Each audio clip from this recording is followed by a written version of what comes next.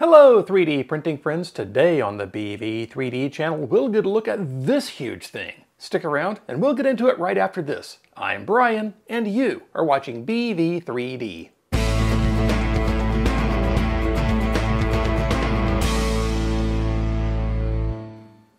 This episode of the BV3D channel is brought to you in part by these awesome channel members. Becoming a member is a great way to support the channel and has a few perks besides just getting your name in lights here. Click the join button to find out more.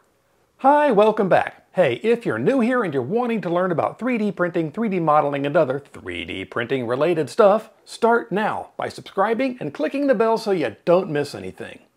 Okay, so today we're taking a look at the Elegoo Neptune 3 Plus. Elegoo sent this over for review, so that's what we're going to do. I covered the standard Elegoo Neptune 3 a few months ago, and I was pretty impressed with it. So the Plus is bigger, but is it better? Well, let's go over the specs. First off, where the standard Neptune 3 has a Bowden feed system to get filament into the nozzle, the Plus has a direct drive extruder with a 3 to 1 gear ratio and two filament drive gears to push the filament down to the nozzle. That nozzle can get up to 260 degrees Celsius and the bed can get up to 100 degrees Celsius. It has a 500 watt power supply, an LED bar embedded in the top crossbar, and a magnetically attached color touchscreen. And it's quite a bit larger than the standard Neptune 3 with a build volume of 320 millimeters on the x-axis, 320 millimeters on the y-axis, and 400 millimeters on the z-axis. It has a 32-bit mainboard with silent stepper motor drivers as well. It features automatic mesh bed leveling, and with a bed this big, it's probing 49 points in a 7x7 grid. Like a lot of printers with a mesh leveling sensor, it does still require you to manually tram the bed to get it mostly level, and the center of the bed is fixed at a specific height, while the left and right side each have three adjustment knobs. So instead of what people are used to, which is having one adjustment knob at each corner of the bed for a total of four, the Neptune 3 Plus has six adjustment knobs. These are used to make sure the left and right sides are flat and at the same level as the center of the bed.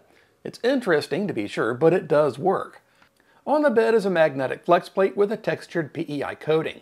Flex plates like this make it super easy to remove models when they're finished printing. It also comes with a usual assortment of tools including flush cutters, a USB card reader and a microSD card, and a minimally useful sample of filament. On the microSD card, you'll find a PDF version of the user manual for the printer, a folder with Elegoo's version of Ultimaker's Cura Slicer for Mac and Windows, and a pre-sliced Buddha model that you can use as a test print. There's also a really well done video showing step-by-step -step how to assemble the printer, adjust the eccentric nuts on the V-slot wheels, level the bed, and start a test print. So I recommend that you watch that video as a quick guide for how to get started with the printer. So like I said a moment ago, the Neptune 3 Plus comes with an Elegoo branded version of Ultimaker's Cura Slicer software, which contains configurations for all of Elegoo's Neptune printers. But Elegoo is still using the older version 4 of Cura, so I recommend using version 5 of Cura downloaded from the Ultimaker site. A huge reason to stick with the official Ultimaker Cura is that, unlike the rebranded versions, it gets regular updates and bug fixes. Unfortunately, when it comes to the Neptune printers, the official release of Cura only has configurations for the Neptune 2 and the Neptune 2D. To fix that, I found Naruto FZR's Neptune printer configurations on GitHub and added them to Cura 5. And there's a link in the description to a video showing you how to do that so you can add all of Elegoo's Neptune printers to the current version of Cura. So for nearly all the models I sliced and printed for this video, I used Cura 5 instead of the older Elegoo branded version. Speaking of slicing and printing, let's look at some of the things that I printed. My first print was the pre-sliced Buddha that was on the card with the printer. And this is a flawless print. I can't find any problems with this model, like at all. It's just so good. All of its little details came out perfectly. I was very happy with this print. Next up, the quintessential 3D Benchy. Printed in an hour and 38 minutes, no stringing, the overhangs on the bow look great, as do the windows and the arches on the doorways of the wheelhouse. There are a few little pits here and there on the hull where those layers either started or stopped, but overall there aren't any real problems on this print. So next, the rocket plane. This is a spiral vase mode print, and Cura calls that feature Spiralize Outer Contour. The spiralize feature tells Cura to print the bottom layers as usual, but then it only prints the outside edge of the model in a continuous spiral from the bottom all the way up to the top. So the model's outer edge is only one wall thick and there's no infill. Anyway, this one was scaled up to the full build height of the printer and it took almost 8 hours to print. I printed another model in spiral vase mode, this time using a silk blue and silk silver co-extrusion filament. This filament is silk silver on one side and silk blue on the other, and it gives a pretty cool effect on the printed models. This vase was designed by Clockspring, and it took 3 hours and 15 minutes to print. No problems on this one at all, and I like that blue to silver color change effect. Then I printed Thing from the Netflix series Wednesday. I sliced it with Prusa Slicer with lightning infill, which reduced the print time and material usage.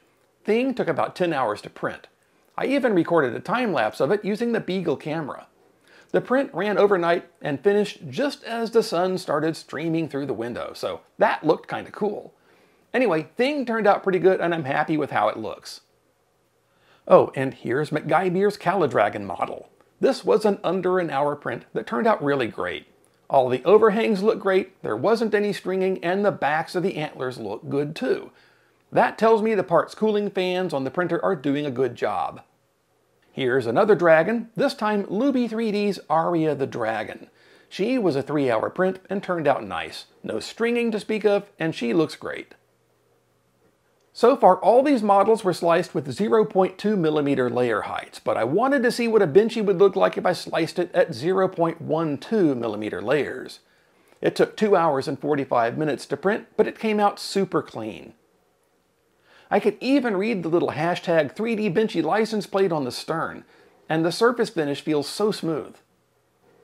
Oh, by the way, all those 3D printed tools in my 3D printed tools for 3D printing video those were printed on this printer.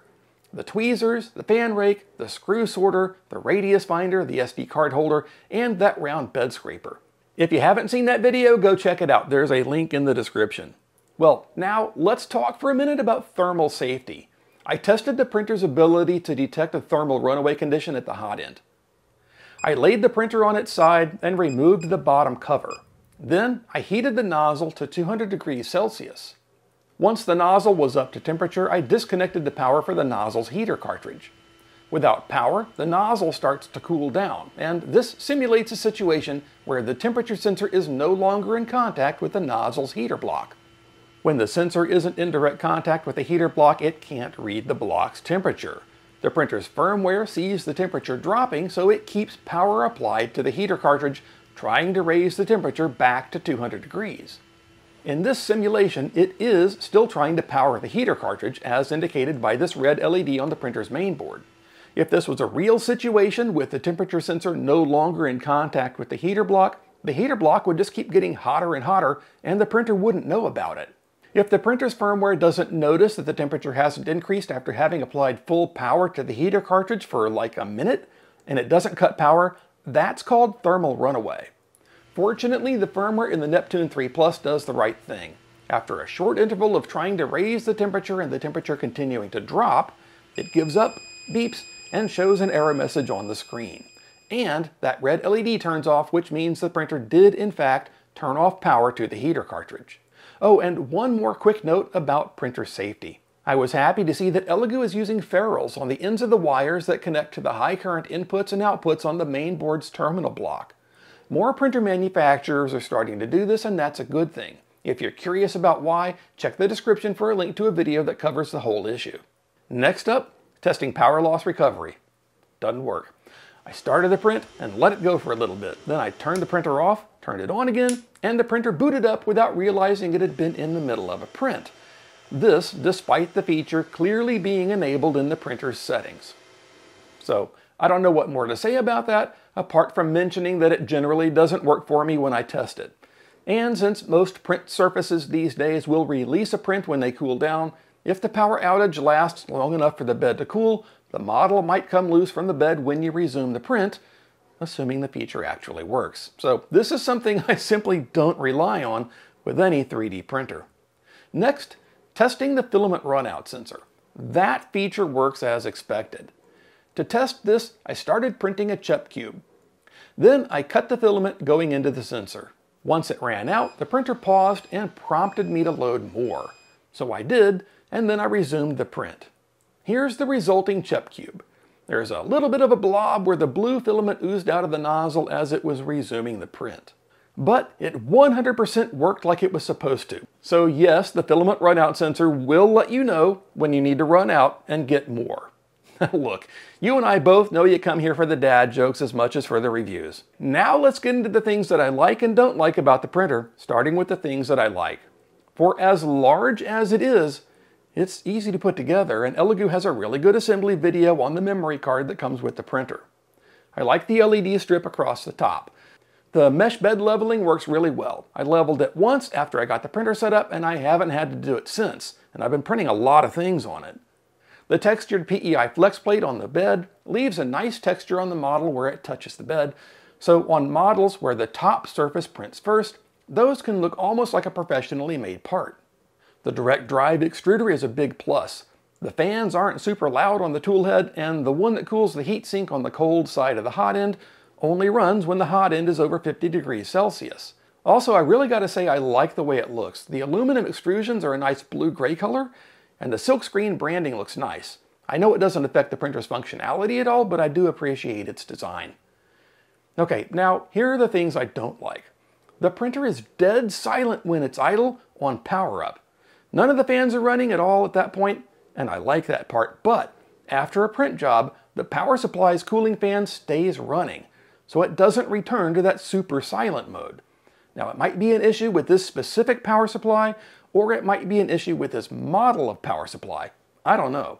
All I know is it's quiet when I turn it on, and then the fans come on when I start printing, and then they all turn off when the printer cools down after a print, except for the power supply fan.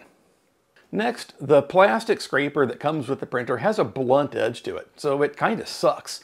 A better scraper is that round one from the 3D Printed Tools video. Oh, every once in a while after a print has finished, Removing the micro SD card causes the print bed to move to the back of the printer.